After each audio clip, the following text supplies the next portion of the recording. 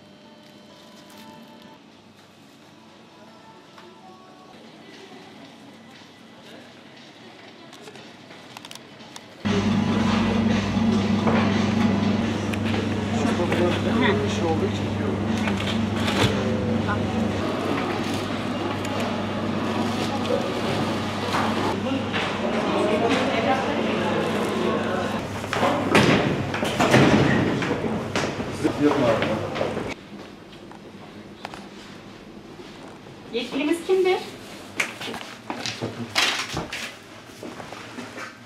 Ürünlerin tariflerini kontrol edin.